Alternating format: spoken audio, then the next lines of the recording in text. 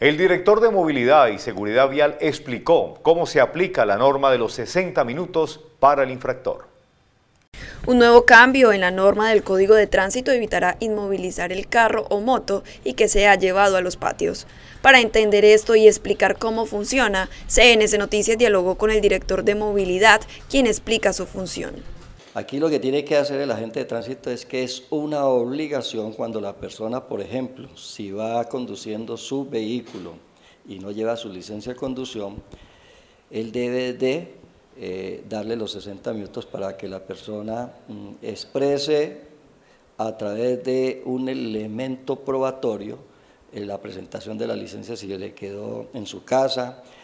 y eh, en ese sentido, en el momento en que la persona lo presenta, pues mirará si de pronto está al día, si no tiene ningún tipo de inconveniente y subsana lo que es la infracción. Pero si por el contrario esta licencia la presenta vencida o de pronto pasado los 60 minutos no presenta la, licencia de conducción,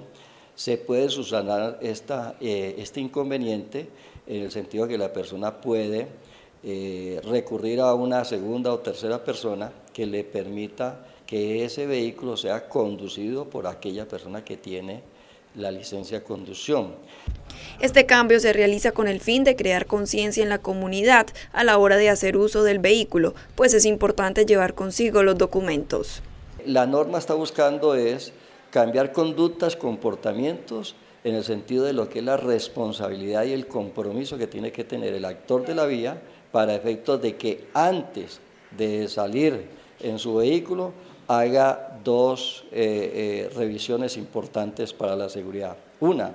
en la parte técnica del vehículo, cuáles son las condiciones que está. Y segundo, revisar que los documentos los lleve y que estén al día.